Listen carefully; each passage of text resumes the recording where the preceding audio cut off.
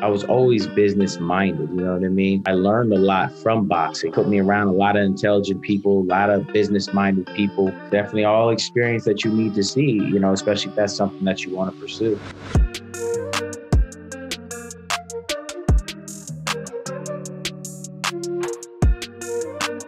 All right, all right. So I'm excited. Today we have uh, a guy that I met a few years back.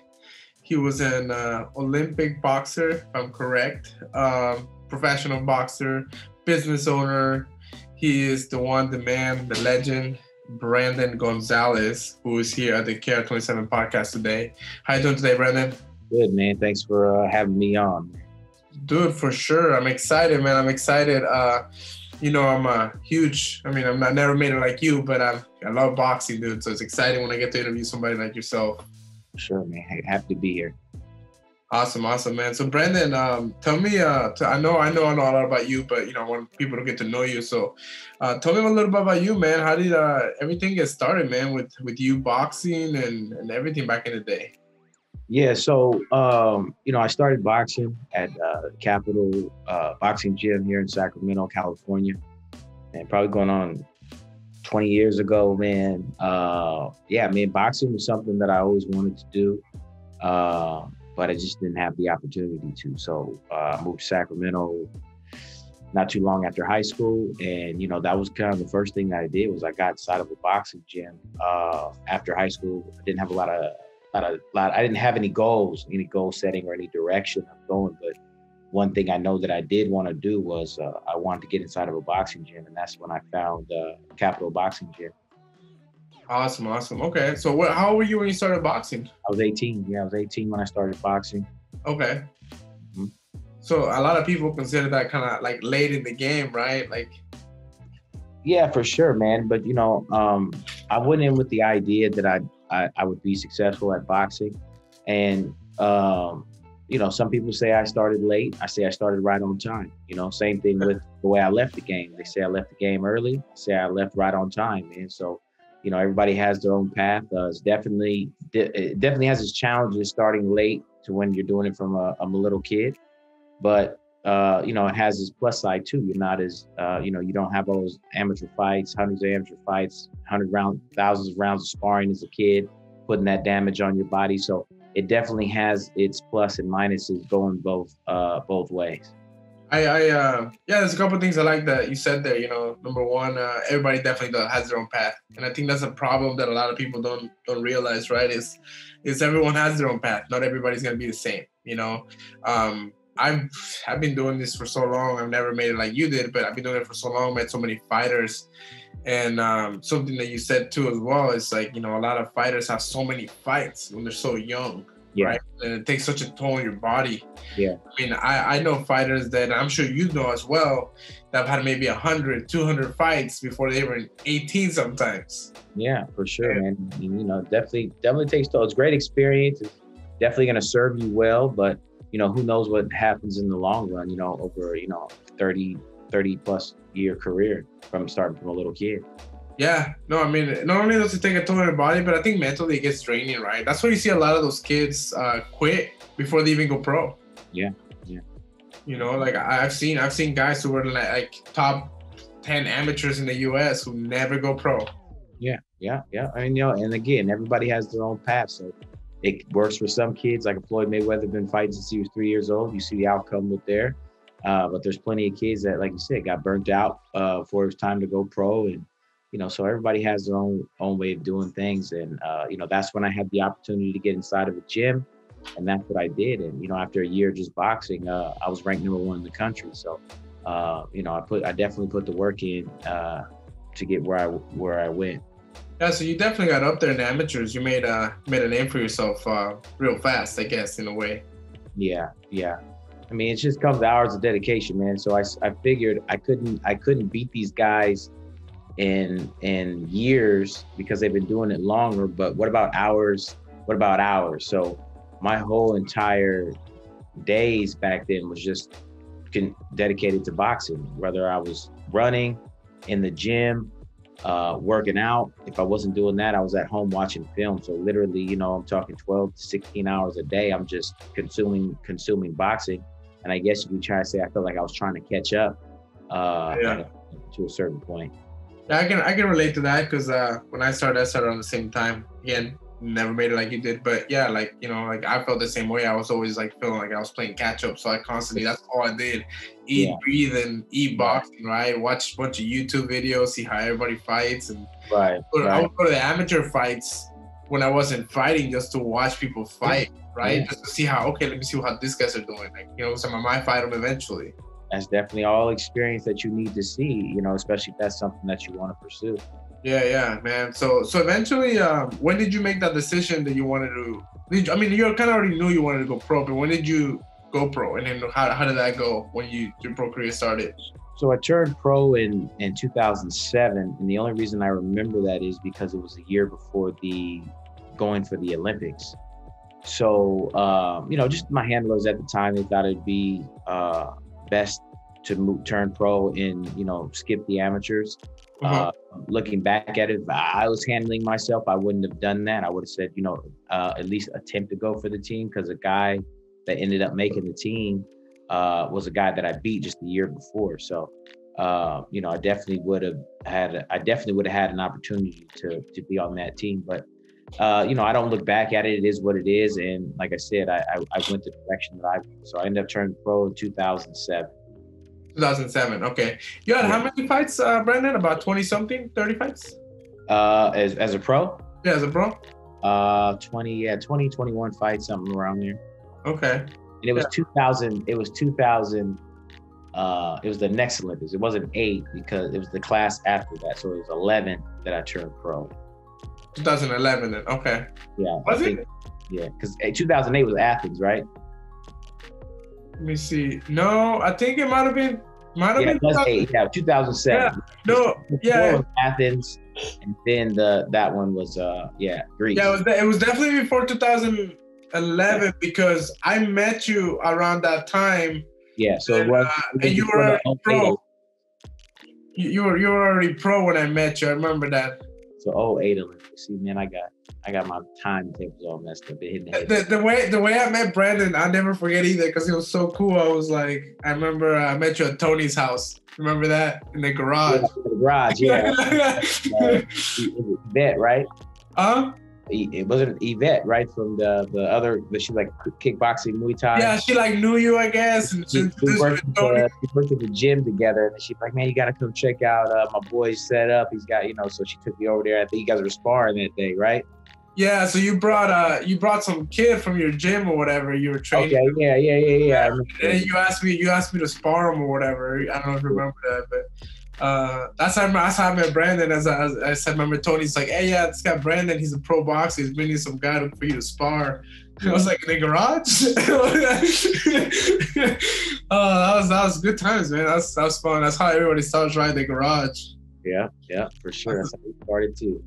Yeah, man. So that's that's how we met, and then uh, man, I was so I thought it was so cool. I was like, oh shit, this guy's coming over here. He he trains with Andre Ward. I think you were already training with Andre Ward at the time.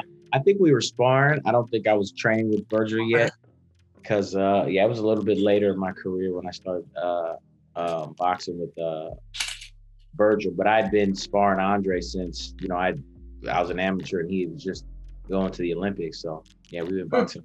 And that's the thing too, man. It's so great when you get to um sometimes even if you don't make it to those, you know, like that super world championship, but the the how do I want to say this? Um like the moments you get to live in your life while doing this whole boxing thing, right? You get to meet all these great people. Like who can sit there and say, dude, I used to spar with Andre Ward. You know, like you can be older when you have your kids and you tell like your grandkids and stuff, you can tell them like, dude, I used to spar that guy right there. Yeah, yeah, no, no. You definitely meet a lot of contacts and a lot of resources.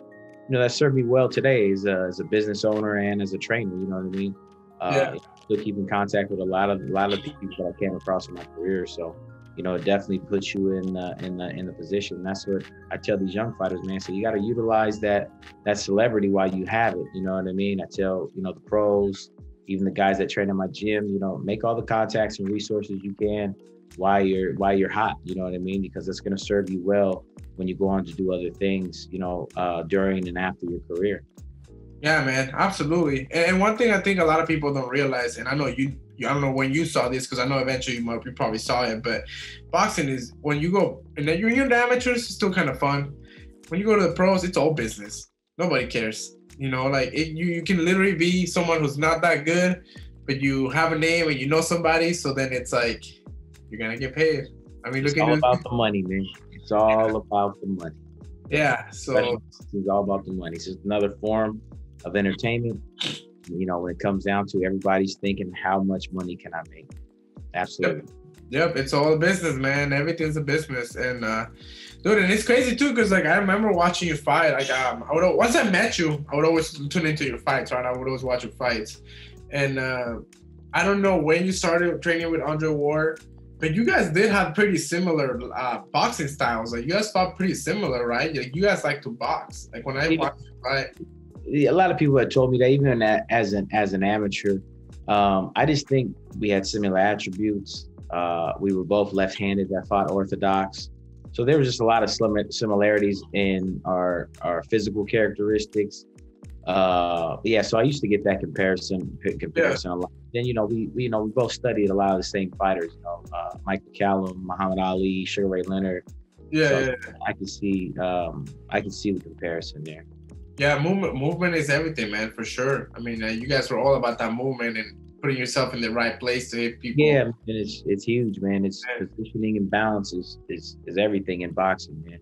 And I know that's something that you're huge on trying to teach at your gym all the time. You know, always trying to, you have to be conditioned to have that movement. That's the thing, oh, yeah. you know because uh, that's why like I like for myself. I know, and I know you see me when I trying to do something. Dude, I, when I'm when I'm out of shape, yeah. I move nowhere. But then you seen me when I'm in shape, I move.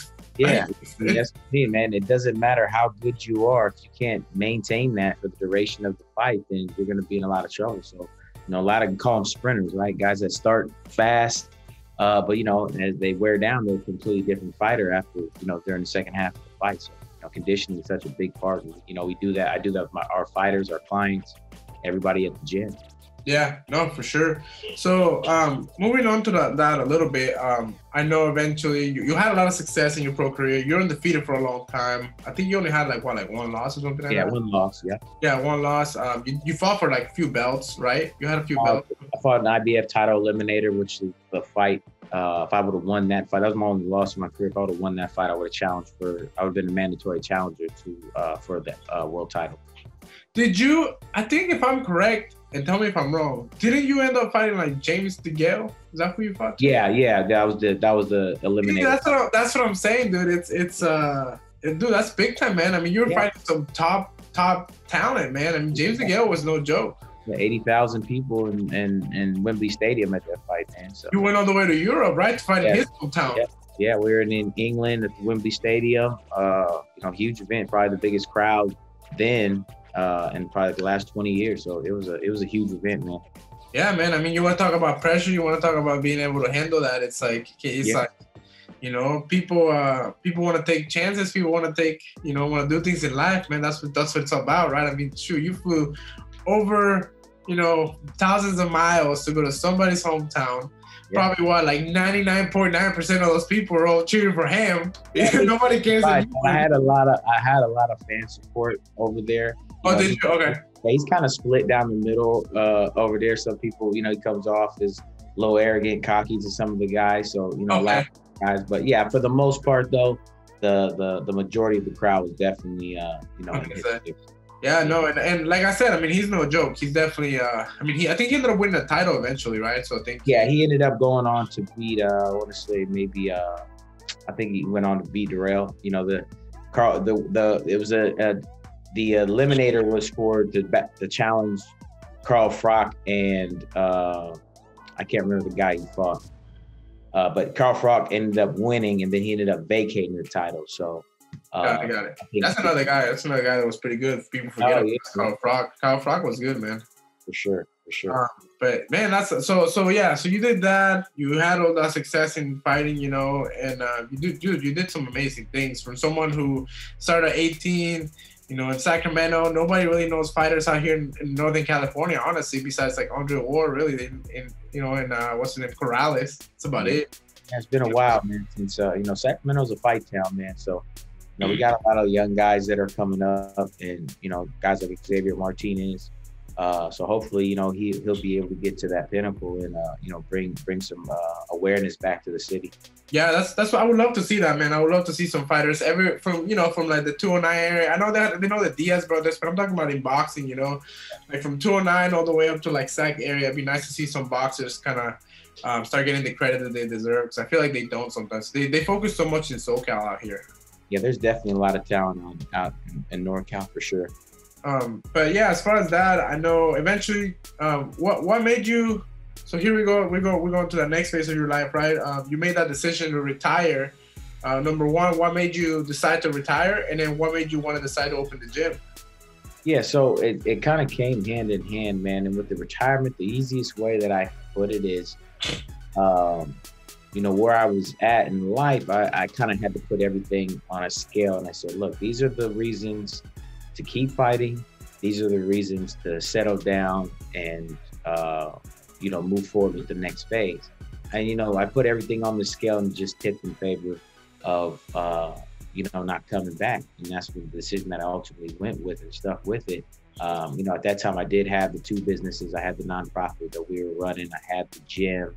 Uh, you know, I was being naive when I first opened the gym um, thinking that hey, I'll just you know I'll take some time off boxing, a few months, get it set up, let it run itself, and you know go back to fighting. That wasn't the case. You know, I'm still, as you know, I'm still involved from the day to day, every day. So yeah, uh, yeah. So I mean, just you know, just all part of that, and that and that's mainly what it came down to. You know, uh, financials obviously were a big part of it. Spending time with my family. I'm leaving camp, leaving for camp for months at a time missing my kids growing up and going to school and stuff like that. So a lot of you know factors like that ended up being the reason why I stopped coming. I, I decided not to keep fighting. Uh, it's hard, man. It's hard. You you have to make those decisions, right? And it's like, do I want to keep going? Do I want to keep doing? I mean, you see, guy, even guys like Mayweather, they're like, you know, why am I gonna keep putting my body through something? Yeah, do something else and spend time with my kids and my family, right? Yeah, um, you know, it's like money is nice, but you can make money other ways and still have that um, you know you don't want to live life just for money and then you don't get to spend time with those people you want to you want to start a family right? You want to have all those things it makes sense. Absolutely. You know when you when you're single you got nothing else yeah i mean you might as well keep doing it right? Yeah. so um but then as far as the gym so you i know um here we go again. I got. I remember when uh, Brandon started the gym again too. I had literally just moved to uh, where I live now by Galt, and Brandon had just started the gym in Sacramento. He was sharing. I think he was sharing the gym with somebody else, right? Uh, yeah. So we, we were talking about the night, the T Street. The very, yeah, the very. Yeah. Oh yeah. So man, it's uh. So yeah. So we ended up. Uh, you know, I just did an interview. I was talking about this yesterday. Uh, we ended up um, starting the gym. Uh, inside of a uh, it's like a Sandra Augustine is probably the person that I have to credit most for where we're at today because she really gave us a start. She had the gym set up. She offered me to uh, train clients in the space that she had. She had multiple rooms where she did different um, different fitness uh, fitness activities. So she had like a boot camp. She had a yoga. She had a strength room. And so one of the rooms was a yoga studio, uh, and half of their space wasn't being used. So you figure the room was about a thousand square feet, cut that in half, and that's kind of the space that we had to work with. And she said, you know, why don't you train uh, some clients, uh, train some other clients doing boxing training? And I kind of just looked at the area, see what we had available. I you know, we can uh, we can set up a gym here. You know, we kind of not necessarily a gym, but an area to where we could do group training versus personal training. Um, so she was all for it, man, and she said that we could do it as long as we uh, created a space for her uh, also to train her clients, so she could offer her clients something uh, and another addition to her gym. So that's kind of how it started, man. We started training her people, and then we were doing things for the nonprofit uh, at that time, training, uh, partnering with other uh, organizations, bringing kids over for youth camps and things like that and then it kind of just fast forwarded to where we started bringing our own clientele. We were training her clients, and it kind of just took off from there. Now, um, was it hard for you to make that transition from? I mean, even though as a boxer, you're kind of like a private contractor, right? But you still have a lot of people around you to help you. Was it hard for you to transition from boxer? I'm just training, fighting, eating, sleeping, boxing. Now I'm going to sleeping and, and, eating business, right? So was it hard to make that transition? You know, uh, not not not so much, man, because um, you know I was always I was always business minded. You know what I mean? Mm-hmm. And then as I learned, I learned a lot from boxing. You know, you know, uh, accounting, taxes, uh, you know, having having uh, having someone do your books and having a manager. Just I learned so much about like boxing was my education. You know what I mean? It put yeah. me around, it put me around a lot of intelligent people, a lot of business minded people, and I and really I just kind of soaked it all in, man. I, I, soaked it all in, and it served me well when it came to uh, running a business. And again, that's trial and error. You learn as you go too. Yeah. my wife, my wife is you know really intelligent. She college graduate, master's degree, so a lot of that is also her acumen coming in on that side to where um, you know we were we were kind of learning learning together with her with my background and her education.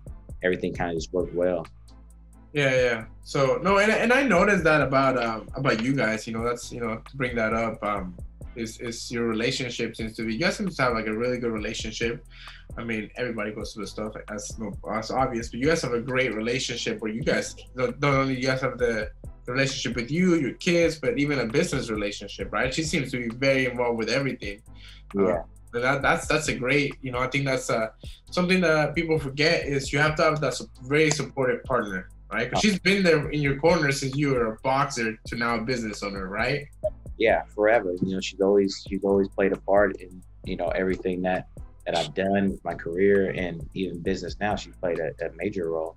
Dude, and, and it's hard because uh, it's hard just to already be dating a boxer. Now it's harder to be dating someone who trains professionally like you did at the time, yeah. right? So you're like eating, breathing boxing. Like you know, I'm sure the relationship was good, but there's times when it, gets hard because you're just constantly training. You're leaving for camp, doing things, right?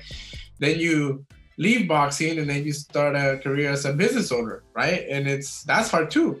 It's it's a lot of work and so it's it's definitely um definitely congratulate you a lot on you know picking a partner that definitely was so supportive and has been there for you and is uh definitely trying to help you out with everything. You know that's awesome. Yeah thank you, you know? and uh you guys have how many kids now? Two, two yeah two kids. Uh, two kids? That's awesome man. No that's great. Um but yeah i mean eventually i know you left that gym. You went over to um, the last gym where i when i met you again with denzel and then mm-hmm. now you moved in into another bigger gym right next down the street, right? So you guys just continue to grow now, man.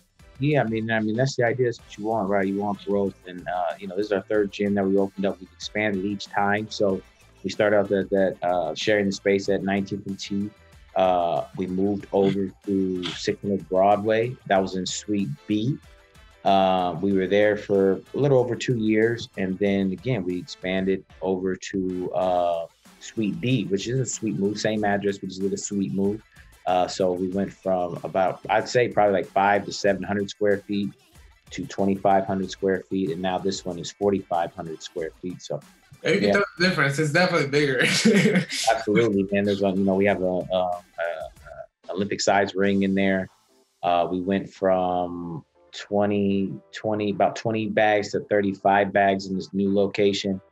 Uh, might be more once you include the speed bag and double end bag. So yeah, man, of course, a lot more space. We have a strength area now here. We have a uh, strip of turf. We have bathrooms. We have everything that you need for a full facility. So it's great because it's, um, you know, it has top of the line. Um, I can never say amenities, but you know, it's still that you know because of the fact that all of our trainers are fighters, former or current it still has that gritty feeling, that gritty training from that you would get at a at an old school, you know, grimy boxing gym.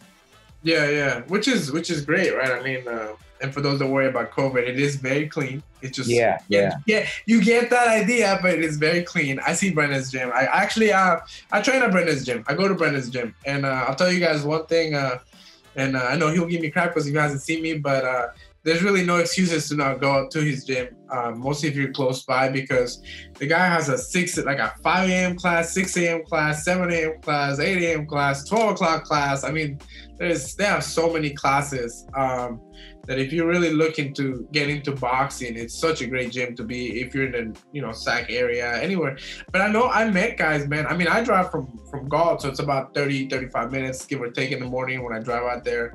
Um, and I met, and I I still drive out there. Like I don't mind. I I chose to I chose to go there, right? So um, there's guy there's a guy I met I know that comes from I think Modesto, I think it is. yeah. yeah. So I mean, definitely, uh, you know, I will say, guys, like it's it's definitely a gym that people want to work out at. I mean, you got people driving an hour just to go to Brendan's gym. So yeah.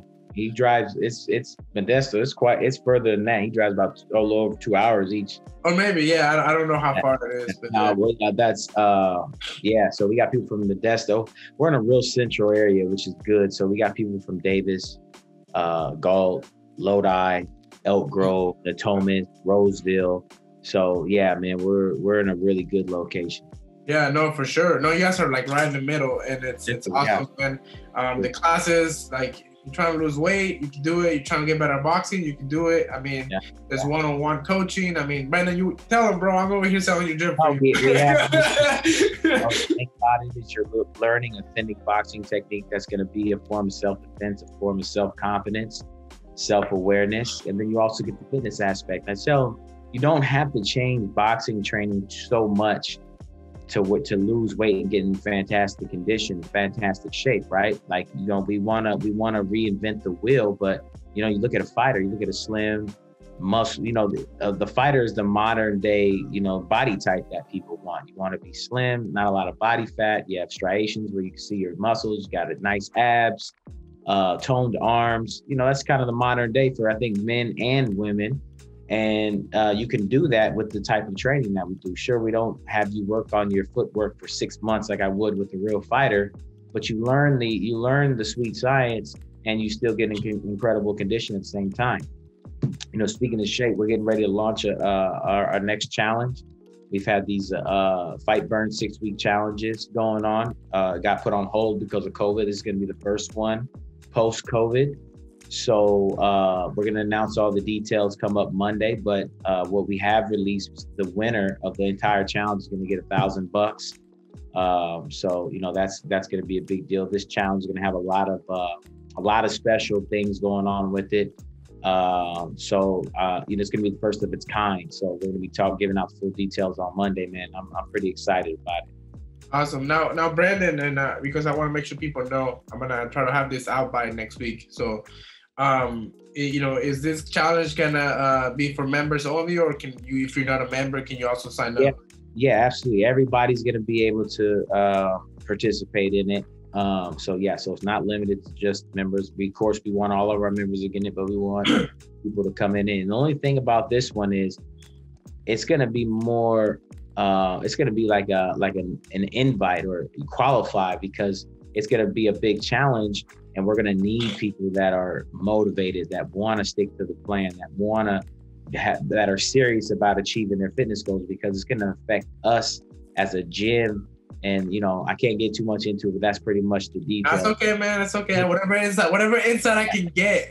Yeah no we need we need people that are going to be uh you know team players. I'll just say that. We need team players and people that are serious about uh you know competitive and serious about losing weight no, that's awesome, man. That's that's great. Yeah, I mean, and and I've seen some of the results from those challenges you've had before. You know, uh, yeah, dude, I've seen the results uh, when Rob did it a few years back. That yeah, was Rob was the first, the first winner. Uh, I don't want. Dude, he yeah. looked lean. I was like, dang, okay. Yeah, yeah, for sure, man. So yeah, Rob's a beast, man. He's still there. He's been he's been there over two years, probably longer than that, man. Yeah, Rob's been with us for a while. Yeah, man. So no, I mean it's it's cool. Uh, and uh, I, I, definitely I, I, vouch for the gym, man. I love. I think it's so great. Uh, if you're trying to get in shape, it's such a good gym. If you're trying to learn how to box, like like Brendan said, yeah, you're not gonna. He's not gonna put you to you know six months of full work and do this yeah. and that. But I mean, you guys aren't there to go be fighters, right? Now, if you're trying to be a fighter, he does have a program for you. Sure. Right, you do have. Yeah, yeah, no, man. We just launched the academy, and the the reason behind that was I was spreading myself thin, trying to train different fighters at different times. And so I said, you know what? I can't do it anymore. I'm trying to run the business. I'm trying to teach the classes. I'm trying to train these fighters. So I just said, look, we're going to make this academy. Anybody that's interested in sparring, competitive training, this is where you're going to do it at. So I got people from the gym, I got pros, I got amateurs, I got our youth all training at the same time. And basically, the idea is to create a culture. I, I I learned how to build a stable from Virgil Hunter. Like I, I, I, I seen him do it with Andre, and then have all types of different types of world class fighters come. You know how to uh, target specific weight classes. Uh, so I really soaked that in from him, and that's kind of the. And then it's the culture, right? It's the culture, it's the competitiveness that you want to have all throughout the gym. The gyms I trained at, you couldn't even you could you wouldn't show up if you weren't in shape because you didn't know what days you had to box. Somebody had to fight coming up. You would have to get in there, help them get ready for their fight. So people would not come to our gym unless they were in shape because you're talking about guys that may have 500 records or not the best records, but they could still fight. So they would bring in world, world champions, and these guys would be handling world champions and sparring. That's how competitive the gym was, to where you had to be at least 70% condition before you even come, or you were going to get hurt. There's no question about it. Yeah, no, I know, I know what you mean. I mean, I've been there. I've been there. Yeah, yeah. So I, I know how that goes. And Yeah. uh, and another thing you say there that I kind of um, you're pretty correct about is sometimes people look at records and record doesn't tell the whole story sometimes. Yeah. And sometimes also look at rec people look at records and they're like, oh man, you know, like that guy sucks. Yeah, it to you, that guy still kick your butt though. Yeah. you know what I'm saying? Like a lot of those guys that don't have the best record sometimes they still work their butt off. They still they're still pretty good in the gym. You also have what you call, and I know you know this, there's guys out there that are gym fighters. yeah, Somehow they can beat anybody up in the gym, but when the lights turn on, somehow they, they choke. yeah, yeah, yeah. I mean, like I say, everybody has their has their path, man, and Yeah. that's 100% true. There's guys that uh, do well in the gym, don't do as well in the fights. Um, yeah, for sure, absolutely. But for sure, um, no, I mean that's good to know for people to know. You know that if you do, um, you know, you have the, the fitness version of it, you have the boot camp, you have a lot of different classes, and now Yeah. you're also including uh, more of a fighter style kind of class, and Yeah. and you know that way, if you if anybody does want to start trying to train, you know, want to learn how to fight and actually go compete, you know, I know Yeah. Brandon's big on that. Um, and Brandon won't put you in a situation where you're gonna go out there and get hurt, right? I mean, No, make sure that that's your job as a trainer, man. I was raised by guys that understood, understand that you can die in training. So, um, you know, I take that with anything that I do with the programming that we develop for the clients, for the regular gym members, to the fighters. Uh, you know, I take that in consideration uh, with everything that you know I create for the gym. For sure, no, for sure, man, absolutely, and uh, yeah, man. So, well, I'm excited, man. I'm excited to see what's coming. I'm excited to hear about this whole camp thing. Um, you know, uh, if anybody wants to come train there, where can they find you, man? We're at 600 Broadway, Sacramento, California, USA. Man, we're right there in the in the in the heart of the city, uh, right outside of downtown, uh, on Broadway, uh, Central area. We're right off every freeway, so there's no no excuse to not get to us. Uh, yeah, 600 Broadway, man, and you know they're doing a lot of things, a lot of development in that area. Uh, so it's really uh, it's really looking upside for the next five ten years there. What's uh, what's also your uh, your website so people can check out your website? Uh, it's flawless boxing fit, short for fitness. Dot com. Flawlessboxingfit.com. Phone number is 833 I can box. You guys hear that? Eight three three. I can box. Can't box. Don't call it. Want Nah, box. You want to If you want box. a box. If you want a box, call it. Uh, Every Saturday at uh, 10 a.m. we do a beginner's intro class, which I think is probably one of the best things about our gym. Uh, we take people that are completely new to boxing. It's a free session, so anybody can come, uh, and we teach them, you know, the sweet science from the ground up, focusing on footwork, how to wrap your hands, boxing stance, proper punching technique, introducing them to our our, our number system, which is one through ten, which sounds complicated, but it's really simple uh, once you get to know it. Yeah, sometimes Kevin still gets lost, but I got I've been punching the head a lot, so it's all good. Um, but yeah, no, it's, it's really not that hard, guys. Um, once you get the hang of it, you know, um, it's fun. And like Brandon says, it's just uh, a matter of you getting in shape, right? Once you're fit and you start getting the hang of it, it's just not not as bad. And then, but uh, dude, I'm excited. I'm happy for you. You have the whole business going on. You know, from from uh, boxer, from, from boxer to you know fighting for championships to fighting in eighty thousand stadiums with eighty thousand people. You know, to running a business from from scratch. You know, and yeah. you're doing great things, man, for the Sacramento area. I know you're trying to also you know, help out a lot of young boxers go pro and in promotions and stuff like that. So uh, I'm excited to see where you're going, man, because I've met you since I met you 10 years ago in that garage. It's been a long ride and it's been yeah. good for you, man.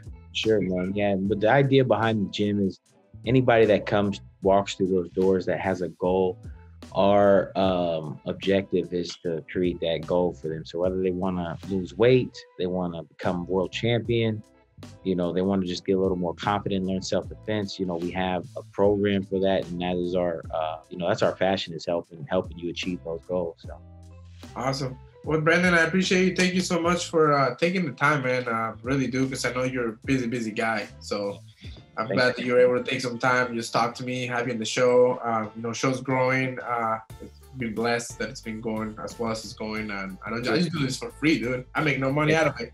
Just love to just love to talk to people and uh, put it out there, man. See what happens, you know. That's how it starts. So for sure, man. I appreciate you, man. Thank you so much. Uh, and uh, I will see you at the gym soon. I promise. Thanks, Ken. Hi, man.